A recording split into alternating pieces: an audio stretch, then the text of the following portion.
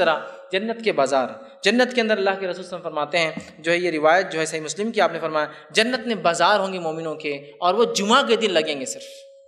کس دن لگیں گے؟ جمعہ جمعہ بازار۔ جمعہ کے دنوں بازار لگیں گے، لیکن اور جنت ان بازاروں میں جائیں گے، خرید و فروخت کریں گے، لیکن ان بازاروں میں عورتیں نہیں جائیں گی یاد رکھیے۔ جنت کے بازار میں بھی عورت نہیں نکلیں گی، وہ گھر میں ہی رہیں گی۔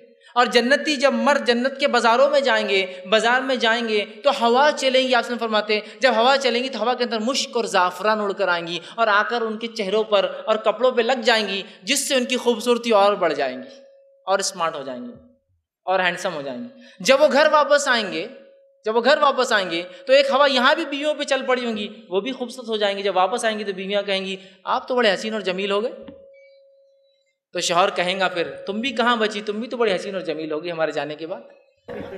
دنیا کے بازار میں گئے تو کالی پیلی ہو کے آنا پڑتا ہوگا۔ کچرا، دھول، مٹی، دھواں، ہے نا؟ آ کے آپ کو کہیں کریم مل کے بیٹھے رہنا پڑتا کہ یہ سب نکلنا ہے۔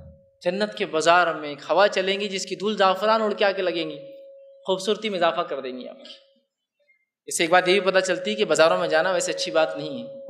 اس لیے کہ عورتیں جنت کے بازار میں بھی نہیں آئیں گی۔ حدیث واضح الفاظ ہے کہ صرف مرد جائیں گے اور عورتیں گھر میں ہوں گی، یہ بھی خوبصورت ہو جائیں گے بازار جا کے آنے سے، اور وہ اور خوبصورت ہو جائیں گے اور دونوں ایک دوسرے کو کہیں گے کہ تم تو بڑے حسین جمیل ہوگے وہ کہیں گے تم بھی تو بڑے حسین جمیل ہوگے ٹھیک اسی طرح جو